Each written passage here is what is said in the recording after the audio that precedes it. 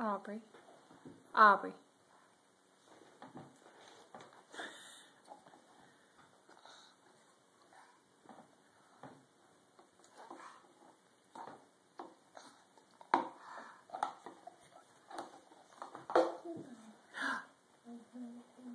Uh-oh.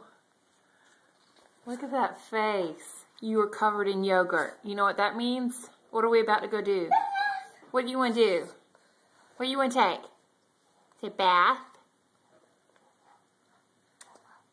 Really? Is it that good?